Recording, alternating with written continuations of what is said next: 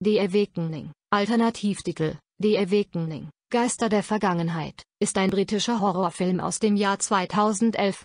Regie führten Nick Murphy, das Drehbuch schrieb Stephen Volk gemeinsam mit Murphy.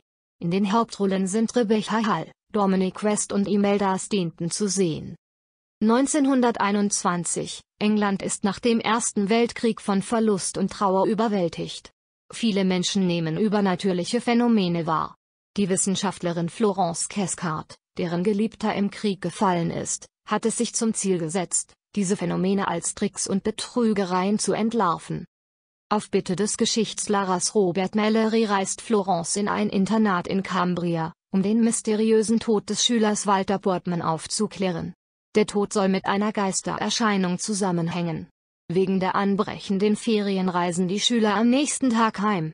Nur Florence, Robert, die Haushälterin Maud und der Schüler Tom bleiben im Internat. Tom erzählt Florence, seine Eltern lebten in Indien, daher können sie ihn in den Ferien nicht abholen. Florence schließt den ernsten, freundlichen Jungen sofort ins Herz. Obwohl sich für den Tod Walter Botmans bald eine natürliche Erklärung findet, hat Florence zunehmend selbst Geistererscheinungen und bleibt daher im Haus, um der Sache auf den Grund zu gehen. Überall im Internat stellt sie selbst auslösende Kameras, Magnetfeldsensoren und andere Messgeräte auf.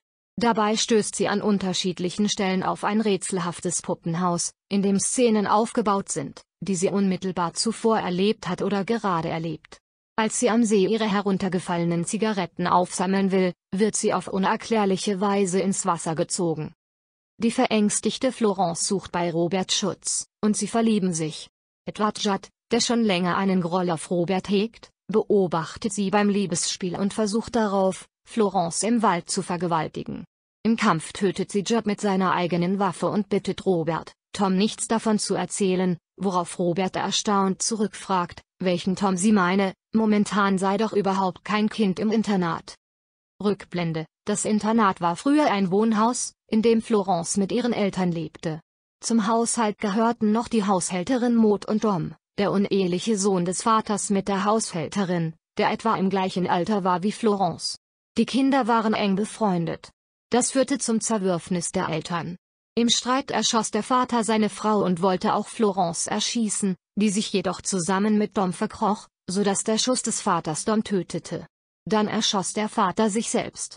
Diese Erlebnisse hatte Florence vollkommen verdrängt. Sie hatte geglaubt, in Kenia geboren zu sein. Der frühe Tod ihrer Eltern sowie eine Narbe an ihrer Schulter würden mit einem Löwenangriff erklärt. Tom spukt seither als Geist durch das Haus und leidet unter seiner Einsamkeit. Sein gutmütiger Charakter hat nicht die Absicht, andere zu erschrecken, aber für die Einsamsten unter den Schülern wurde er wegen der Gefühlsverbindung wahrnehmbar. Außenseiter Walter Bottman starb, weil er infolge einer solchen Wahrnehmung einen tödlichen Asthmaanfall erlitt.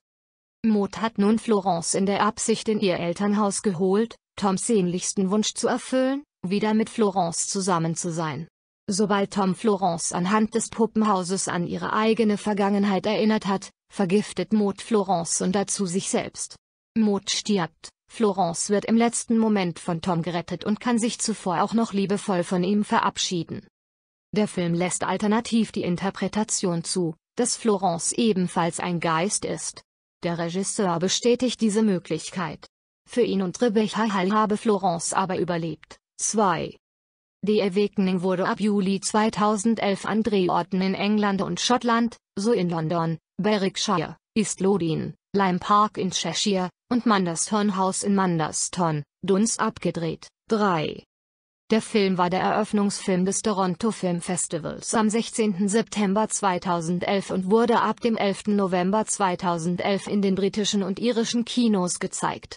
In Deutschland erschien der Film am 7. Juni 2013 direkt auf DVD. 4. Nach der Internetseite Rotten Tomatoes waren 62% der 65 Kritiken positiv. Das Lexikon des internationalen Films urteilt, unblutiger Geisterhorror, der in Form einer Gruselgeschichte das Bild einer Gesellschaft zeichnet, deren Vertrauen ins Welt- und Menschenbild der Aufklärung im Zuge des Ersten Weltkriegs ins Wanken geraten ist. Auch wenn die Auflösung verglichen mit dem Rest der fesselnden Geschichte etwas flach wirkt, unterhält der Film dank starker Darsteller und einer atmosphärischen Inszenierung bis zuletzt. 5.